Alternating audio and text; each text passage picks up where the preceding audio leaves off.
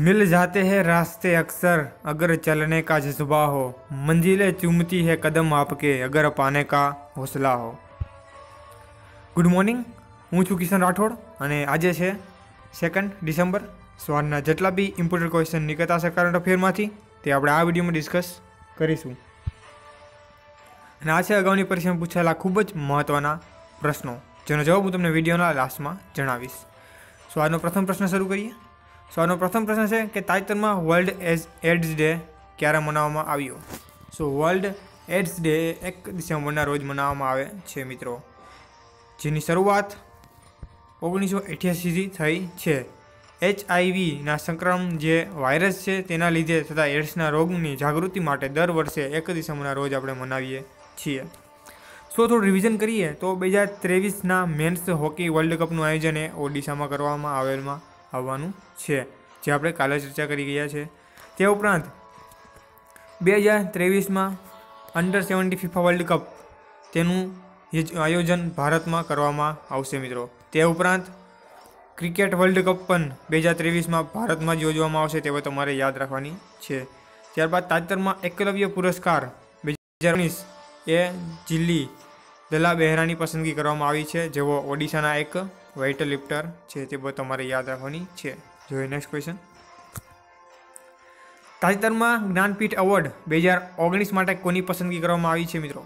સો તાજેતરમાં જ જ્ઞાનપીઠ એવોર્ડ બે હજાર ઓગણીસ છે અહીં. તેના માટે અકિતમ અચ્યુતમ નામ્બુ દીરીની પસંદગી કરવામાં આવી છે. જો બે હજાર, જ્ઞાનપીઠ બે હજાર અઢાર પૂછે, તો અમિતાભ ઘોષ આવશે તે તમારે યાદ રાખ, રાખવાની છે.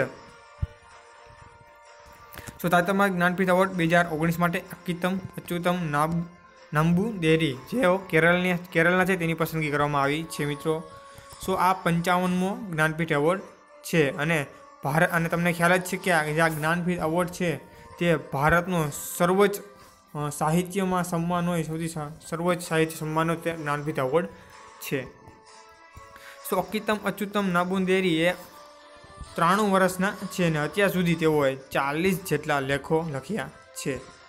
સો, મેં તમને હમણાં કીધું તેમજ કે બે હજાર અઢાર પૂછે અને અથવા એમ પૂછે કે ચોપનમો જ્ઞાનપીઠ એવોર્ડ કોને મળ્યો છે તો? અમિતાભ ઘોષ હશે તે બધું તમારે યાદ રાખવાની છે. જોઈએ નેક્સ્ટ ક્વેશ્ચન વિડીયોને આગળ વધતા પહેલાં મિત્રો, અગર વીડિયો તમને પસંદ આવ્યો હોય તો વિડીયોને લાઇક કરો શેર કરો અને અમારી ચેનલને સબસ્ક્રાઈબ જરૂર ને જરૂર કરશો, જેથી અમને આવા જ વીડિયો બનાવવા માટે પ્રોત્સાહન મળે. સો થર્ડ ક્વેશ્ચન છે, તાજેતરમાં કોને નેશનલ એવોર્ડ જર્નલિઝમ બે હજાર ઓગણીસથી સન્માનિત કરવામાં આવ્યા છે મિત્રો? સો નેશનલ એવોર્ડ જર્નલિઝમ બે હજાર ઓગણીસથી રંજના નારાયણને સન્માનિત કરવામાં આવ્યા છે મિત્રો. સો તેઓ યુનાઇટેડ નેશન ઇન્ડિયાના પત્રકાર છે અને તેઓ તેમના જીવન દરમિયાન કરેલા કાર્યો માટે એવોર્ડ મળેલો છે. અને આ સન્માન તેમને ડૉક્ટર મંગલમ સ્વામીનાથ ફાઉન્ડેશન દ્વારા આપવામાં આવ્યું છે, જે તમે અહીં જોઈ રહ્યા છો. સો જોઈએ નેક્સ્ટ ક્વેશ્ચન તાજેતરમાં ટેસ્ટમાં સૌથી ઝડપી સાત હજાર રન બનાવવાવાળા ક્રિકેટ, ક્રિકેટર કોણ બન્યા છે? સૌથી ઝડપી કેમાં? ટેસ્ટમાં સાત હજાર રન. તો તે છે સ્ટીવ સ્મિથ, જેને તમે ઓળખતા જશો તેઓ ઓસ્ટ્રેલિયાના ખેલાડી છે. તેઓ સૌથી ઝડપી રન બનાવે છે સાત હજાર ટેસ્ટમાં. તેઓ ફક્ત એકસો ને છવ્વીસ એકસો ને છવ્વીસ ઇનિંગમાં સાત હજાર ટેસ્ટમાં રન બનાવ્યા છે. તેમની પહેલા રેકોર્ડ ઇંગ્લેન્ડના વેલી હેમનના નામે હતો, જેઓ એકસો ને એકત્રીસ ઇનિંગમાં સાત હજાર ટેસ્ટ રન બનાવ્યા હતા. અને ઓટલ ઓસ્ટ્રેલિયા વિશે તમે બીજી ડિટેલ્સ જોઈ શકો છો. જોઈએ નેક્સ્ટ ક્વેશ્ચન સો તાજેતરમાં જાહેર કરાયેલ રિયલ ટાઈમ બિલિયનર બિલિયનર લિસ્ટમાં દુનિયાના ધનિક વ્યક્તિ કોણ છે? સો રિયલ ટાઈમે બિલિયનર્સની લિસ્ટ જાહેર કરી છે. તેમાં દુનિયાનો સૌથી ધનિક વ્યક્તિ એ જેફ બેઝોફ્સ રહેલા છે, મિત્રો. સો, તમને ખ્યાલ જ હશે, તેઓ એમેઝોનના સ્થાપક છે. તેઓ તેના ફાઉન્ડર છે અને સીઈઓ પણ તે જ છે, જેફ બેઝોસ. સો, તાજેતરમાં જ આવેલા એક બ્લૂમબર્ગ રિપોર્ટ પણ આવ્યો હતો. તેના મુજબ બિલ ગેટ્સ એ દુનિયાના સૌથી વધારે ધનિક વ્યક્તિ હતા. તેઓ તમારે યાદ રાખવાની છે બંને વિશે.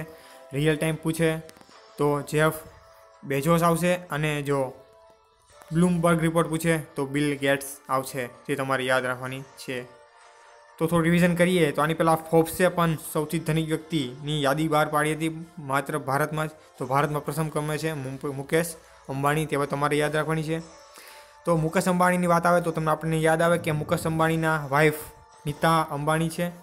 સો તેઓ ન્યૂયોર્કના મેટ્રોપોલિટન મ્યુઝિયમ ઓફ આર્ટ્સના પ્રથમ એવા ભારતીય ટ્રસ્ટી બન્યા છે તે તમારે યાદ રાખવાની છે. કયું મ્યુઝિયમ છે? તો ન્યૂયોર્ક મેટ્રોપોલિટન મ્યુઝિયમ જે તમારે યાદ રાખવાનું છે. જોઈએ નેક્સ્ટ ક્વેશ્ચન ન્યૂઝ ફટાફટ. સો તાજેતરમાં કયા શ્રીલંકાના પૂર્વ ક્રિકેટરને ઉત્તર શ્રીલંકાના ગવર્નર બનાવવામાં આવ્યા છે મિત્રો. જો તમે અહીં જોઈ રહ્યા છો, મુથૈયા મુરલીધરને ઉત્તર શ્રીલંકાના ગવર્નર બનાવવામાં આવ્યા છે મિત્રો. ત્યારબાદ છે, તાજેતરમાં ભારત અને બીજા કયા દેશ વચ્ચે સૂર્યકિરણ બે હજાર ઓગણીસ અભ્યાસ આયોજન કરવામાં આવશે? અભ્યાસનું આયોજન કરવામાં આવશે. કયું સૂર્ય? સૂર્યકિરણ બે હજાર ઓગણીસ. તો નેપાળ ને ભારત વચ્ચે. સૂર્યકિરણ બે હજાર ઓગણીસ નેપાળના ભારત વચ્ચે થશે. ક્યારે થશે? તો ત્રણ ડિસેમ્બરથી સોળ ડિસેમ્બર સુધી ચાલશે તેવો તમારે યાદ રાખવાની છે. ત્યારબાદ છે તાજેતરમાં કયા દેશને પ્રથમવાર યુનેસ્કો વર્લ્ડ હેરિટેજ કમિટી માટે પસંદગી કરવામાં આવી છે? પ્રથમવાર યુનેસ્કો વર્લ્ડ હેરિટેજ માટે. તો સાઉથ અરેબિયાની પસંદગી કરવામાં આવી છે. તેનો તમારે યાદ રાખવાનું છે. ત્યારબાદ છે તાજેતરમાં જે કોને international institute of the India એવોર્ડથી સન્માનિત કરવામાં આવ્યા છે. આ ખૂબ શ્રેષ્ઠ એવોર્ડ છે જે ન્યૂઝ ચેનલો આવે છે. તેમાં સૌથી શ્રેષ્ઠ જે હોય છે તેને મળે છે. તો તેમાં એનડીટીવીને મળ્યું છે. જેમ કે તે એકઈ રાજ્યનો એકઈ મંત્રીઓનો પક્ષપાત કરતો નથી ને તે રિયલ જ ન્યૂઝ બતાવે છે તે માટે. સો આ છે અગાઉની પરીક્ષામાં પૂછાયેલા ખૂબ જ મહત્ત્વના સવાલો. તો તેની ચર્ચા કરી લઈએ. સો પ્રથમ ક્વેશ્ચન છે કે, ધી ઇન્ડિયન નેશનલ કોંગ્રેસના પ્રથમ સ્ત્રી પ્રમુખ કોણ હતા? તો તે હતા એની બેસેન્ટ. ત્યારબાદ છે the national academy of the Indian railway. ક્યાં સ્થળે આવેલ છે? તો તે આપણા ગુજરાતના વડોદરા ખાતે આવેલ છે મિત્રો. ત્યારબાદ છે ગુજરાતમાં મધુપુરી તીર્થધામ ક્યાં આવેલું છે? તો તે ગાંધી, ગાંધીનગરની બાજુમાં આવેલું છે મહુડી. ત્યાં આવેલું છે મિત્રો. ત્યારબાદ છે ઉભરે ઊભી, સાંભળું રે બોલ વાલમના. આ જાણીતું ગીત કોનું લખેલું છે? તો તે મણિલાલ દેસાઈનું લખેલું છે. ત્યારબાદ છે હાર્ડવેર અને સોફ્ટવેરને જોડવાનું કામ કોણ કરે છે? તો તે તમને ખ્યાલ જ હશે, ઓપરેટિંગ સિસ્ટમ કરે છે. સો તમને મારો વીડિયો પસંદ આવ્યો હોય તો વીડિયો લાઇક કરો, શેર કરો અને અમારી ચેનલને સબસ્ક્રાઈબ જરૂર કરો, જેથી તમને આવા વીડિયો મળી રહે અને અમને આવા જ વીડિયો બનાવવા માટે પ્રોત્સાહન મળે. સો અમારી ચેનલને સબસ્ક્રાઈબ જરૂર ને જરૂર કરશો. So have a nice day.